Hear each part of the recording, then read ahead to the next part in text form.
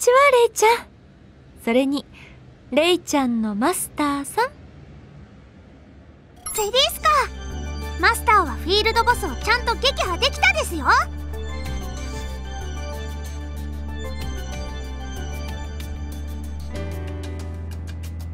よかったわねレイちゃん。マスターがちょっとは人並みに頑張れる人で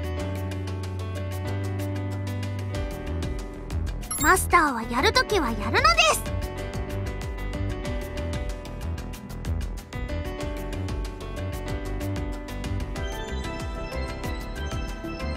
でもね砂に覆われた孤島にも同じようにフィールドボスがいるのよね。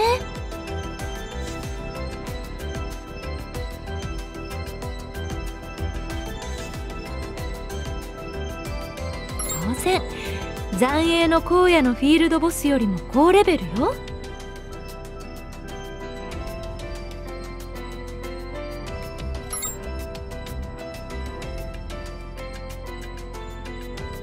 あらやる気はあるのね。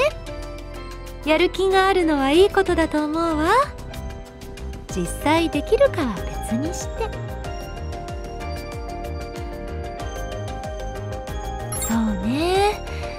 でもここのフィールドボスをクリアできたら攻略最前線に追いつくことも夢じゃないかもしれないわね。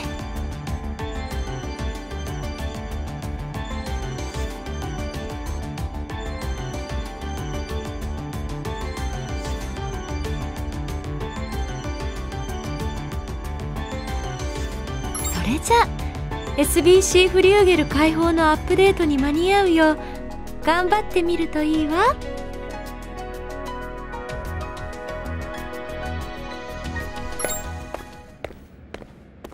マスターのやる気私も感じましたですよ。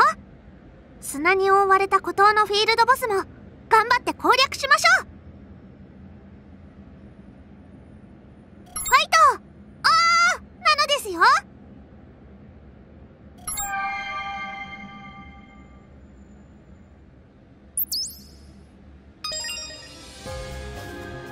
この前はどうも。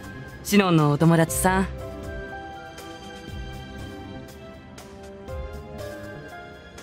君って初心者なのにアファシスを手に入れたんだって？いいな。リアルラックが高い人は。しかもシノンたちといつも一緒なんだろ？強いプレイヤーと一緒に狩りができれば効率もいいよね。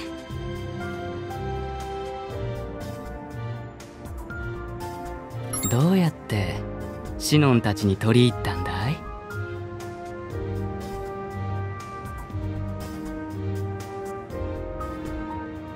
僕なんかステータスの振り分けを失敗して散々だよ。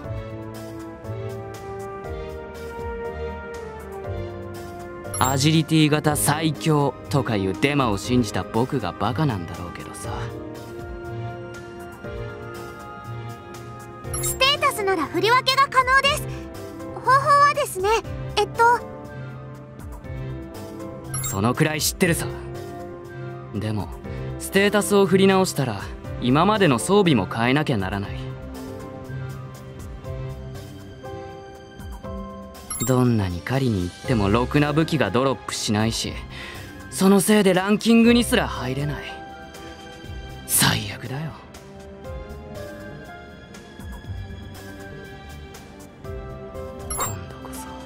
完璧にやり直すはずだったのに。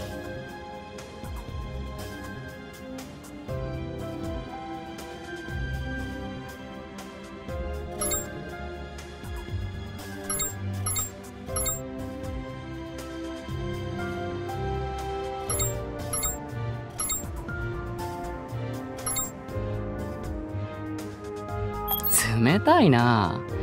あシノンから何か聞いたかい？いやシノンは自分から話すタイプじゃないな。そうだあいつから聞いたんだろう。本当に君は何も知らないんだね。あいつキリトには気をつけた方がいいよ。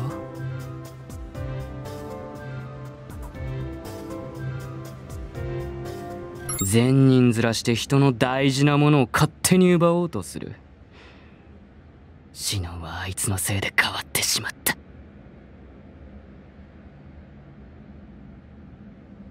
君たちもあまりシノンには慣れ慣れしく近づくな。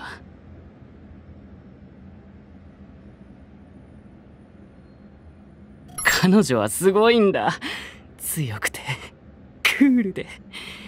君たち普通の人間とは違う世界にいる。